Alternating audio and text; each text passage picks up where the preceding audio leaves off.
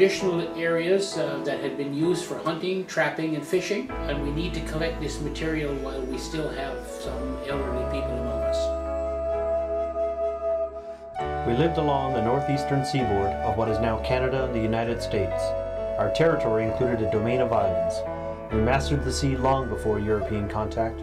Many years ago, our family started to stay in Newfoundland year round, where we hunted, gathered, and fished. This continues today. Terms pre-contact and prehistory often suggest native people had fixed primitive societies. In the pre-Columbian period, rather, the Americas possessed a rich history. Evidence shows many First Nations had relationships with other indigenous peoples.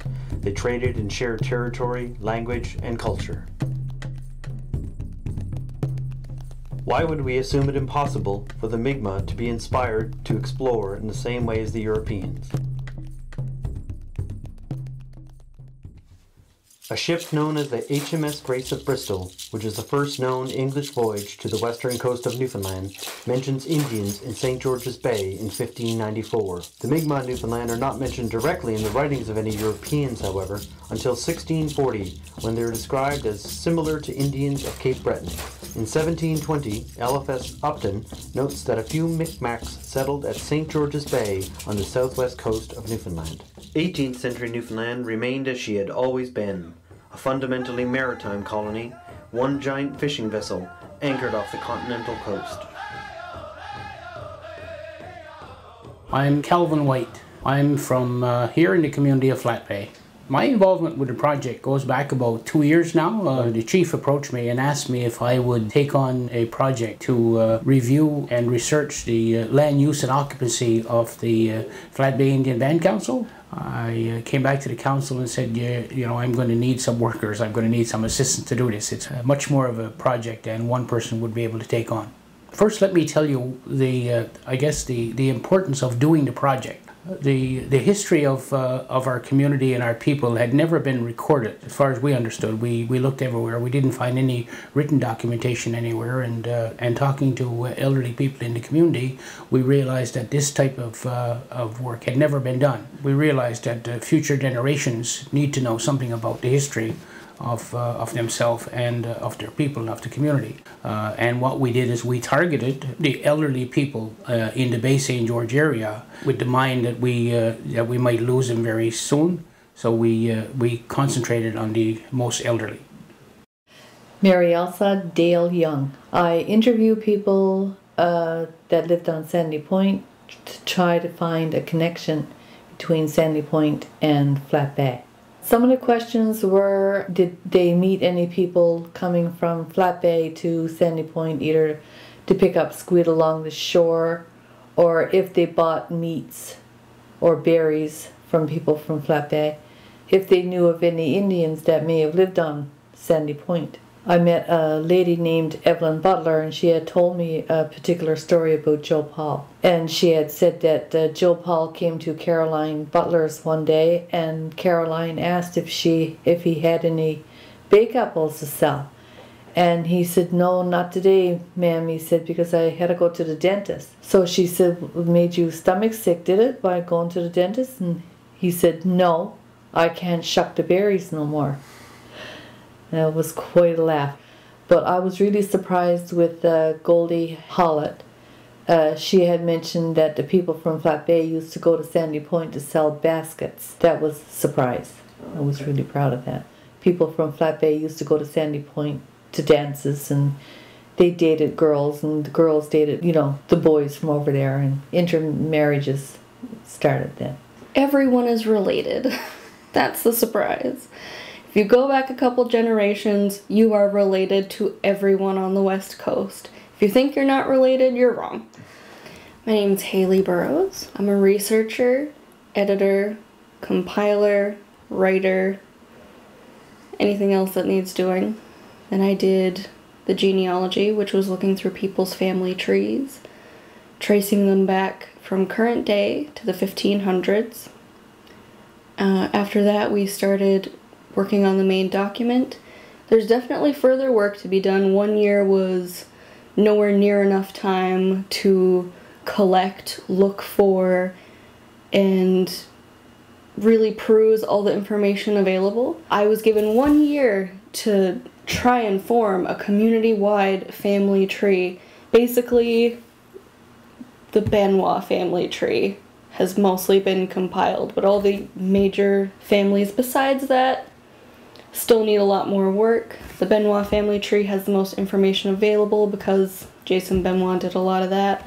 The Lejeunes, the Youngs have the next most available information. Everyone else, you need to go look at church records, which are in Nova Scotia, in order to get the full depth of that. As for more work beyond that, there's archaeology that needs to be looked into. And if this is a land use and occupancy study working towards a land claim, there's still lots more information to be found. My name is Ivan White. I'm from here in Flat Bay, but I currently live in St. George's. I'm the Traditional Land Use and Occupancy Study Project Coordinator. Basically, I was the person who handled the focus of the project. If we ever went off the rails, it was my job to make sure that we were following the mandate. It wasn't all of my vision, but my job was to maintain the vision of the traditional land use and occupancy study.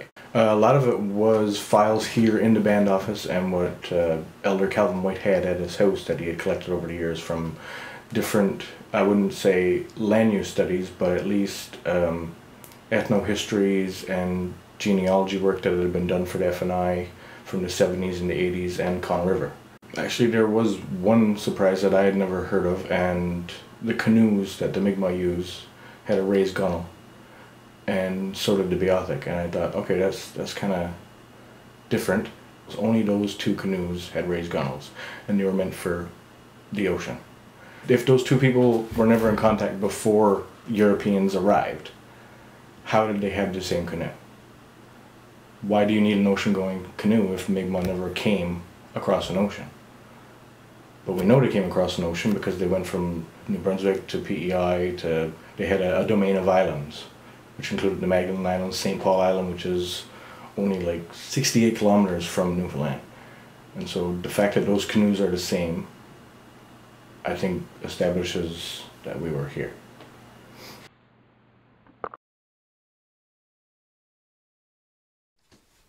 By 1850, a clear image of Sandy Point as a settlement emerges, with number of inhabitants at a thousand, English, French, Canadian, and Indian, according to a fisheries report.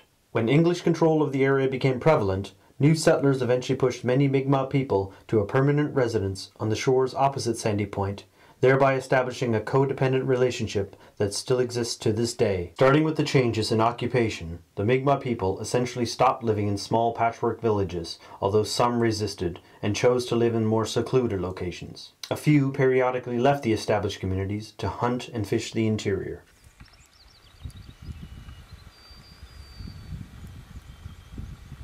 Any younger men who travel to those locations without the older people they put names onto it themselves that are not the traditional names. And what I'm trying to do is I'm trying to collect the information so I can put the actual traditional names onto it. Originally, the body of water spanning from the main gut and continuing south of the Sandy Point Isthmus to Young's Cove was known as Flat Bay. The establishment of Flat Bay as a community, known to the greater Bay St. George area, didn't happen until the turn of the 20th century. At this time, Flat Bay would have only been connected to outside communities by way of train, boat, or walking trail through rough terrain.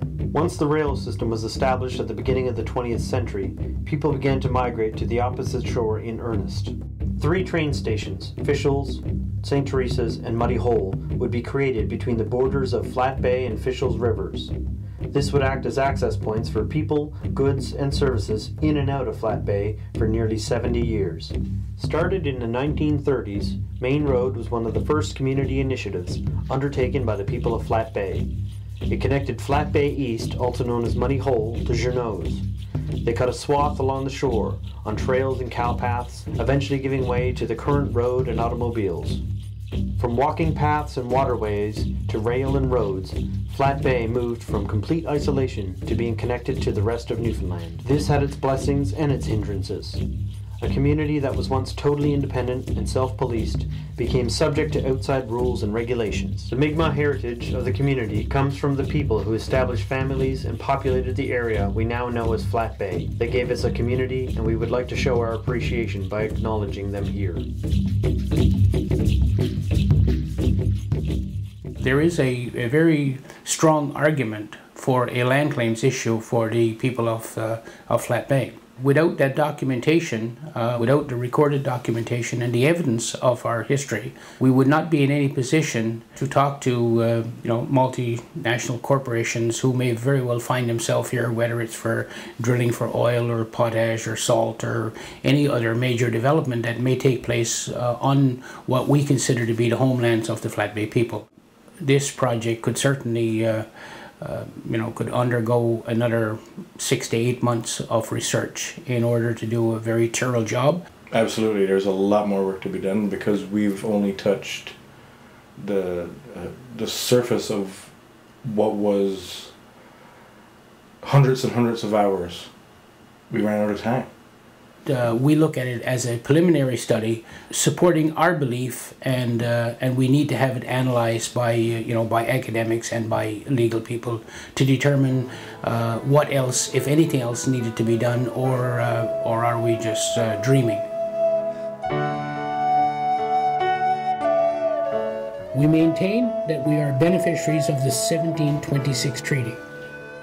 We maintain we are members of the Mi'kmaq Grand Council 7th District.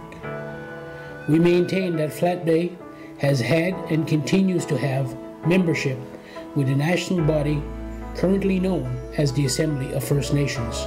We maintain that we have not ceded or negotiated away our rights to a land claim. Though modern life caught up to us and we had to stop relying solely on the land, you can still see images of the past in how we hunt and forage. Driving into this community is like stepping back in time. Most of the people are aware and proud of their Mi'kmaq heritage. We have a chief instead of a mayor, a band office instead of a town council. We will continue to research and document our way of life and our culture so that the future generations will have an understanding of the history and heritage of Flat Bay.